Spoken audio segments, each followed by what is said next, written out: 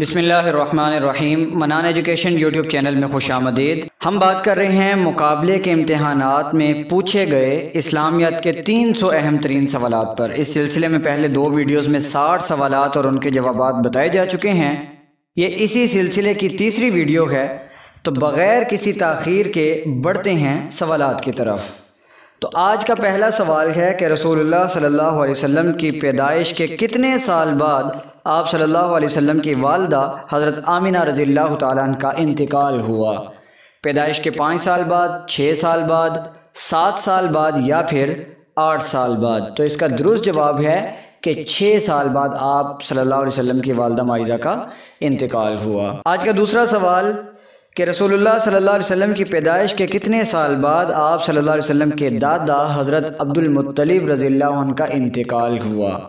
تو آپ کے آپشن ہیں چھ سال بعد، سات سال بعد، آٹھ سال بعد یا نو سال بعد۔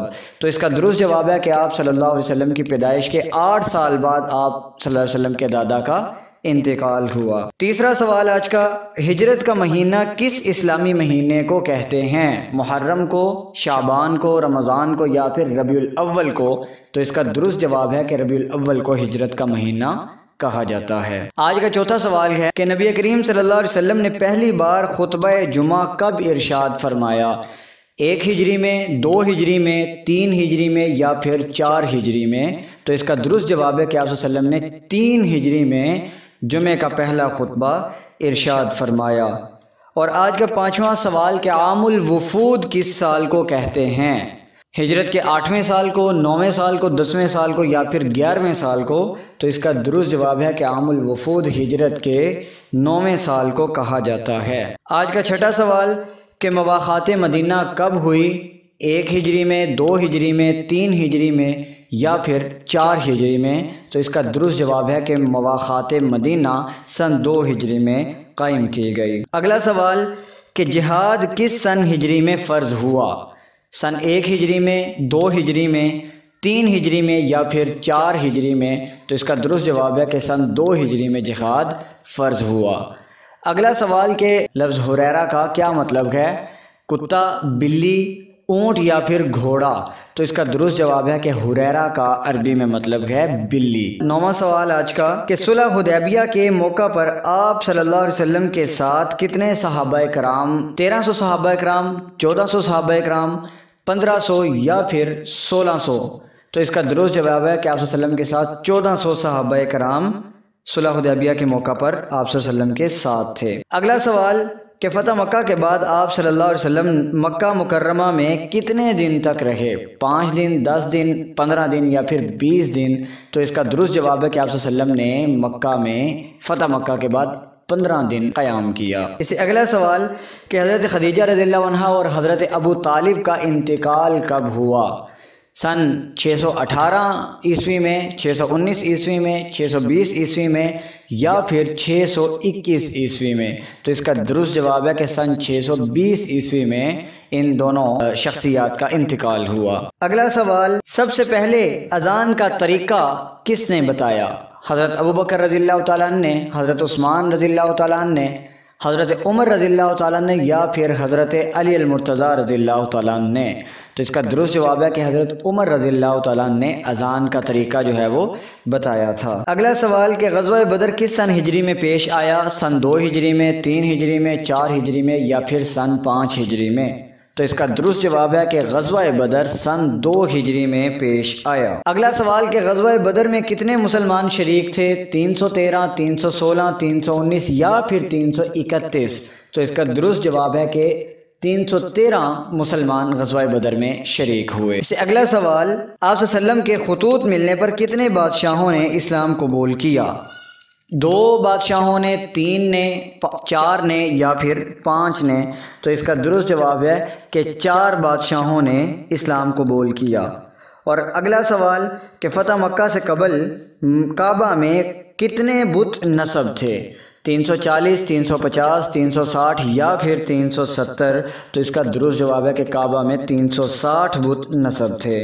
اور آج کا سترواں سوال کہ کعبہ میں نصب سب سے بڑے بت کا کیا نام تھا؟ لات، عزا، منات یا پھر حبل؟ تو اس کا درست جواب ہے کہ حبل سب سے بڑے بت کا نام تھا۔ اگلا سوال، حضرت بلال رضی اللہ تعالیٰ نے سب سے پہلے کس نماز کے لیے اذان کہی؟ فجر، ظہر اثر یا عشاء کے لیے؟ تو اس کا درست جواب ہے کہ حضرت بلال نے سب سے پہلے نماز فجر کے لیے اذان کہی تھی۔ اس سے اگلا سوال کہ حضرت محمد صلی اللہ علیہ وسلم کی قبر مبارک کس صحابی رضی اللہ عنہ نے تیار کی تھی؟ حضرت ابو بکر رضی اللہ تعالیٰ نے حضرت عمر فاروق رضی اللہ تعالیٰ نے حضرت عثمان غنی رضی اللہ تعالیٰ نے یا پھر حضرت ابو طلحہ رضی اللہ تعالیٰ نے تو اس کا درست جواب ہے کہ حضرت ابو طلحہ رضی اللہ تعالیٰ نے قبر مبارک تیار کی تھی۔ اس سے اگلا سوال کہ مسلمانوں کی پہلی درسگاہ کس مسجد میں قائم کی گئی تھی؟ مسجد قبا میں، مسجد نبوی صلی اللہ علیہ وسلم میں، مسجد ذرار میں یا پھر مسجد الحرام میں؟ تو اس کا درست جواب ہے کہ مسجد نبوی میں پہلی درسگاہ قائم کی گئی تھی۔ اگلا سوال جی فتح مکہ کے موقع پر آپ صلی اللہ علیہ وسلم کے عالم یعنی جھنڈے کا رنگ کیا تھا؟ سفید اور سبز، سفید اور سرخ، سفید اور پیلا، سفید اور کالا۔ تو اس کا درست جواب ہے کہ آپ وسلم کے علم کا جو رنگ تھا وہ سفید اور پیلا تھا۔ اس سے اگلا سوال حضرت خدیجہ رضی اللہ تعالیٰ عنہ نے کتنی عمر میں وفات پائی؟ تریسٹھ سال کی عمر میں چونسٹھ سال کی عمر میں پینسٹھ سال کی عمر میں یا پھر سڑسٹھ سال کی عمر میں؟ تو اس کا درست جواب ہے کہ پینسٹھ سال کی عمر میں حضرت خدیجہ رضی اللہ تعالیٰ عنہ کا وصال ہوا۔ اگلا سوال کہ نبی کریم صلی اللہ علیہ وسلم کے فرزند حضرت قاسم رضی اللہ تعالیٰ نبوت سے کتنے سال پہلے پیدا ہوئے؟ نبوت سے دس سال پہلے، گیارہ سال پہلے، بارہ سال پہلے یا پھر نبوت سے تیرہ سال پہلے؟ تو اس کا درست جواب ہے کہ آپ رضی اللہ تعالیٰ نبوت سے گیارہ سال پہلے پیدا ہوئے۔ اس سے اگلا سوال کہ خانہ کعبہ کی چابی کن کے پاس ہوتی تھی؟ حضرت عثمان بن عفان رضی اللہ تعالیٰ کے پاس، حضرت عثمان بن مضعون رضی اللہ تعالیٰ کے پاس، حضرت عثمان بن طلحہ رضی اللہ تعالیٰ کے پاس اور حضرت عثمان بن سعد رضی اللہ کے پاس۔ تو اس کا درست جواب ہے کہ حضرت عثمان بن طلحہ رضی اللہ تعالیٰ کے پاس خانہ کعبہ کی چابی ہوا کرتی تھی۔ اگلا سوال، کہ حضرت ابو بکر رضی اللہ تعالیٰ کس چیز کی تجارت کیا کرتے تھے؟ سٹیل کی کپڑوں کی، کوئلے کی یا پھر گندم کی، تو اس کا درست جواب ہے کہ آپ رضی اللہ تعالیٰ کپڑوں کی تجارت کیا کرتے تھے۔ اس سے اگلا سوال، کہ حضرت عمر رضی اللہ تعالیٰ کی شہادت سن چوبیس ہجری کی کس تاریخ کو ہوئی؟ یکم محرم، یکم رمضان، یکم شوال کو یا پھر یکم سفر کو؟ تو اس کا درست جواب ہے کہ یکم محرم الحرام کو آپ رضی اللہ تعالیٰ کی شہادت پیش آئی۔ اس سے اگلا سوال کہ کس خلیفت الرسول نے گھوڑوں کی تعداد پر زکوٰۃ عائد کی؟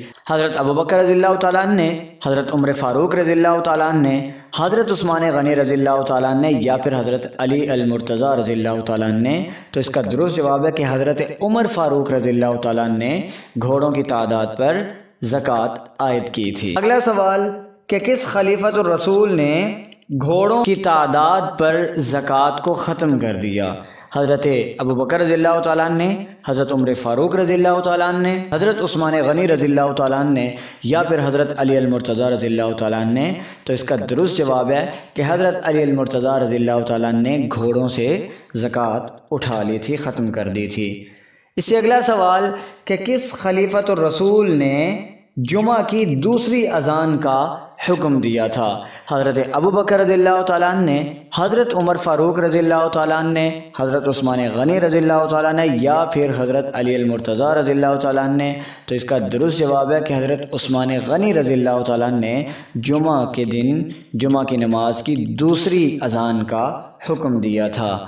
اور آج کا آخری سوال ہے کہ عتیق کس کا لقب تھا؟ حضرت ابو بکر رضی اللہ تعالیٰ عنہ کا، حضرت عمر فاروق رضی اللہ تعالیٰ عنہ کا، حضرت عثمان غنی رضی اللہ تعالیٰ عنہ کا، یا پھر حضرت علی المرتضی رضی اللہ تعالیٰ عنہ کا۔ تو اس کا درست جواب ہے کہ حضرت ابو بکر صدیق رضی اللہ تعالیٰ عنہ کا ہی لقب عتیق بھی تھا۔ آج کے اس لیکچر میں ہم نے مقابلے کے امتحانات میں پوچھے جانے والے اسلامیات کے مزید تیس سوالات پر بات کی۔